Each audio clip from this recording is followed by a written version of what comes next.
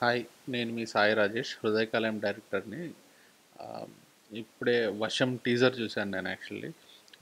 శ్రీకాంత్ చెల్ల ఈ వర్షం సినిమా డైరెక్టర్ ఎవరైతే ఉన్నారో శ్రీకాంత్ చెల్ల నాకు ఆల్మోస్ట్ కొన్ని ఇయర్స్ నుంచి పరిచయం. మేమిద్దరం కలిసి ఒక ఫిల్మ్ వర్క్ చేసాం అప్పట్లో. అంటే ఇద్దరం స్ట్రగ్లింగ్ స్టేజెస్లో ఉన్నప్పుడు. సో నాకు శ్రీకాంత్ చెల్ల ఎంత ప్యాషనేటెడ్ డెడికేటెడ్ అనేది నాకు అప్పటి నుంచో బాగా తెలుసు. సో తను వశం వర్షం అనే ఫిల్మ్ స్టార్ట్ చేస్తున్నప్పుడు తను ఫేస్బుక్లో పెట్టాడు ఇలా క్రౌడ్ ఫండింగ్తో తను ముందుకెళ్తున్నా అని.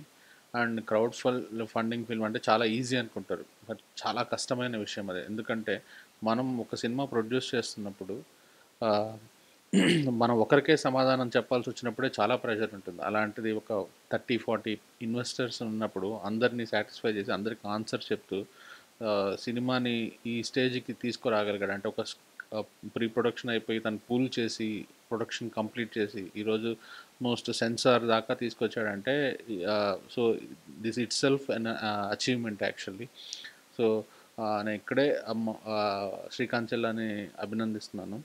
అండ్ ఈ ఫిలిం ఏదో ఒక జోనర్ తీసుకోవచ్చు. చాలా easy genre like rom com లేకపోతే ఒక లవ్ స్టోరీ యూత్ఫుల్ సబ్జెక్ట్ తీసుకోవచ్చు. బట్ తను అలా తీసుకోలేదు.